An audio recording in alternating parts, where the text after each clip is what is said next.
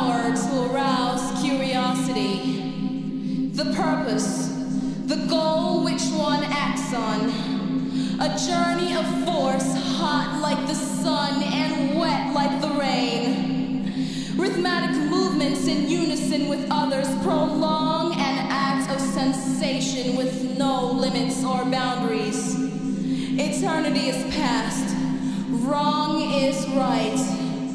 It's the point of greatest intensity, pleasures of the highest sense, feelings of warmth and security, willing and unwilling sensations of the mind, a condition, the ultimate